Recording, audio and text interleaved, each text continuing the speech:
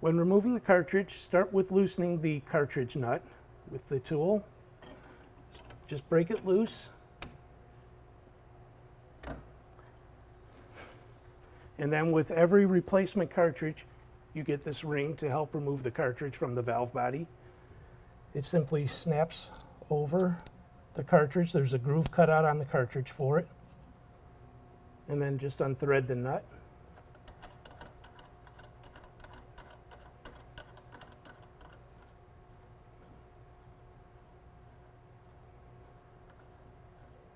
Until it's completely unthreaded from the valve body. And then just pull it straight out.